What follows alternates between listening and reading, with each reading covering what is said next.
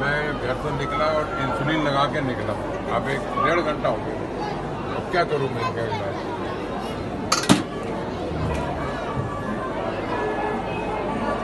मैंने पेट देना सैनिटी चालू थोड़ा।